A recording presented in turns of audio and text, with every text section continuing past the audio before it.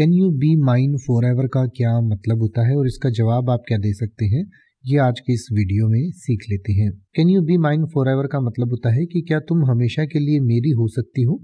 या क्या तुम हमेशा के लिए मेरे हो सकते हो? यानी कि सामने वाला आपको एक तरीके से प्रपोज कर रहा है कि क्या आप हमेशा के लिए उसके हो सकते हैं या उससे शादी कर सकते हैं क्या?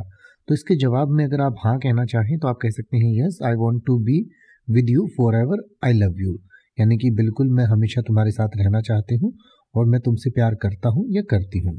या फिर आप ये भी कह सकते हैं I can't imagine my life without you I am yours forever यानी कि मैं अपने जीवन की कल्पना भी नहीं कर सकता या कर सकती तुम्हारे बिना, और मैं सिर्फ़ तुम्हारी हूँ या तुम्हारा हूँ। या फिर आप कह सकते हैं I am sorry but I can't make a promise for forever at this moment यानी कि आप मना करना चाहें तो आप इस तरीके से कर सकते हैं कि मुझे माफ़ करें या मुझे खेद है, लेकिन अभी जो है मैं हमेशा का प्रॉमिस आपको नहीं कर सकता हूँ या नहीं कर सकती हूँ।